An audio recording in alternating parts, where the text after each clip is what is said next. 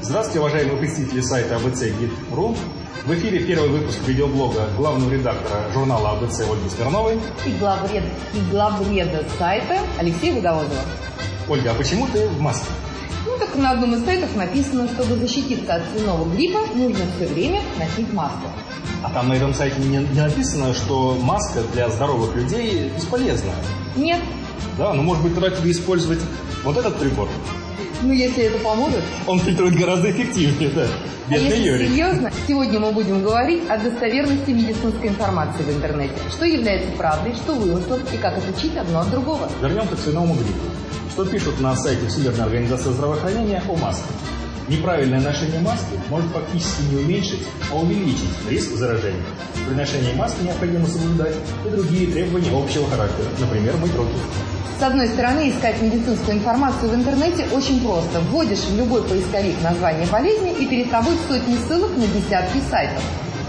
Но вот сориентироваться в этом море очень сложно, особенно мне врачу. Как отличить, какая информация является достоверной, а какая нет? Вот простейший пример. Берем первую попавшуюся новость с очередной медицинской сенсацией. Хлебная корка предотвращает развитие рака.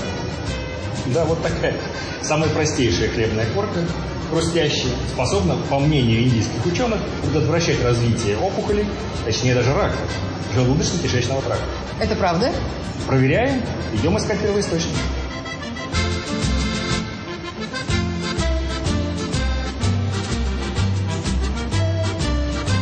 Исходная статья обнаруживается в маленьком, но гордом официальном печатном органе Европейской организации по предотвращению рака.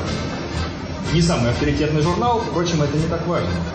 Самое главное начинается позже, когда читаешь заголовок и абстракт статьи. Выясняется куча ограничений данного исследования. Итак, смотрим. Первое. В опыте участвовали только крысы. Во-вторых, только толстая кишка, а не весь желудочно-кишечный тракт.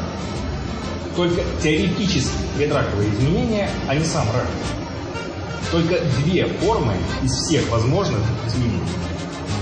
Только вызванные одним определенным очень сложным канцерогеном 1,2-диметилгидрозин. И только один антиоксидант был выделен из хлебной корки, а вовсе не группа антиоксидантов. Итак, вывод у нас какой?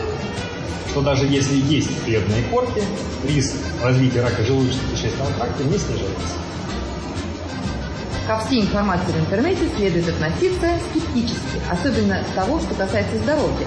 Это поможет сберечь это самое здоровье лучше всяких лекарств, компьютерных советчиков и приборов. Всего доброго. До следующего выпуска.